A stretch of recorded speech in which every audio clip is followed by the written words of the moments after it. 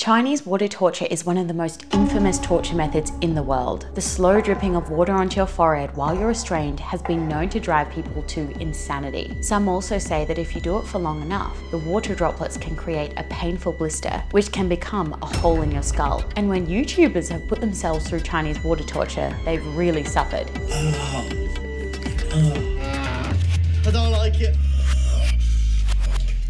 but it's literally just water dripping. How is it so scarily effective? Or is everyone just full of shit? In my research for this video, there have been lots of surprises. The first one, Chinese water torture isn't even Chinese. Historians think it was invented back in the 15th or 16th century by an Italian lawyer named Hippolytus de Marsiliis, and the Chinese part of the name was added later to make it more intriguing and mysterious. Legend has it, Hippolytus observed how water dripping slowly onto a stone eventually created a hollow. He concluded that the same process applied to a person's forehead would really mess them up. Is that really where his mind went to? Weird. Anyway, you might be wondering at this point, if there was continuous dripping of water onto your forehead, could it make a hole, like this stone being eroded? You're not the only one with this question. There's literally an entire Reddit thread about it. And when they tested Chinese water torture on Mythbusters, it was intriguing. Adam, who was one of the guinea pigs, said that after a few hours, he did feel pain and pressure on the spot of his head where the droplets were hitting. I feel like, you know,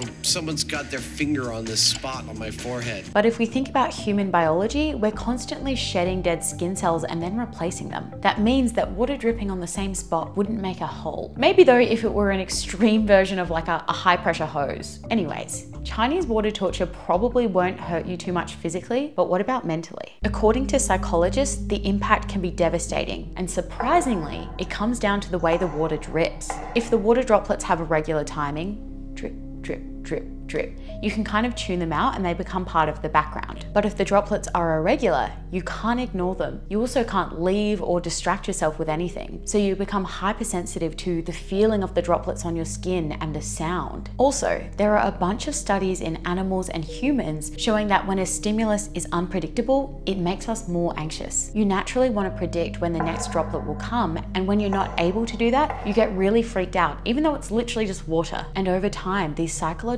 effects get worse and worse. You become disoriented and fearful.